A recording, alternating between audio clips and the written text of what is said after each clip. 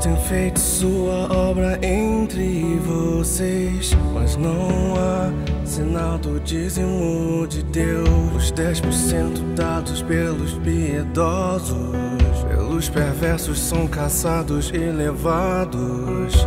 Não estão vocês todos dispersos de Deus? Não fazem oposição a Deus? Como poderia Ele ver suas maldades? Que vocês praticam como algo estimado?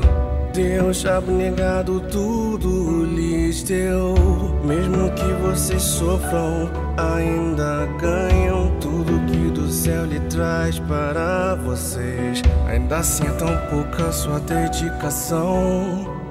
Mesmo se você dedicar um pouco, mais tarde com Deus suas contas ajustará. Você deu a Deus um sorão de areia pede uma tonelada de ouro. Sua contribuição não valerá nada. Você não estará só sendo irracional. O caminho de hoje tem maldição e juízo. Mas saibam que o que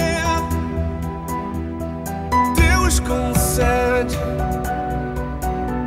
seja julgamento ou castigo.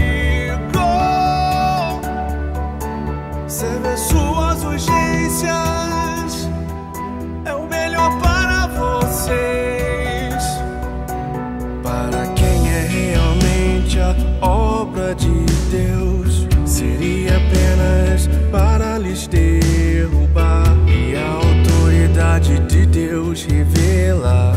Não dependem suas vidas de uma só palavra dele. Porque Deus só lhes ensina por palavras. Sem concretizar palavras para lhes matar. São suas palavras e só o próprio homem derrubar. Será que Deus mata inocentes aleatoriamente? Quantos de vocês se põem diante dele de forma inteira, buscando seguir o certo? Apenas seus corpos estão perante Deus, mas seus corações vagam ao longe. Porque vocês não sabem o que é obra de Deus. Muitos de vocês desejam dele se separar. Desejam a vida no paraíso sem juízo. Coração do homem. Deus, por certo, não está lhe constrangendo.